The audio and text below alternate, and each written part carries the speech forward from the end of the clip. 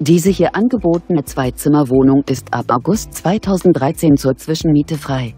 Die Wohnung befindet sich in Düsseldorf-Unterbilk. Das Objekt wird über eine Etagenheizung beheizt.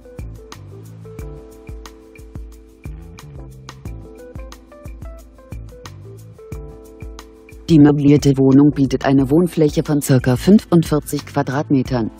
Die monatliche Pauschalmiete beträgt 560 Euro. Wir freuen uns, Sie näher zu informieren.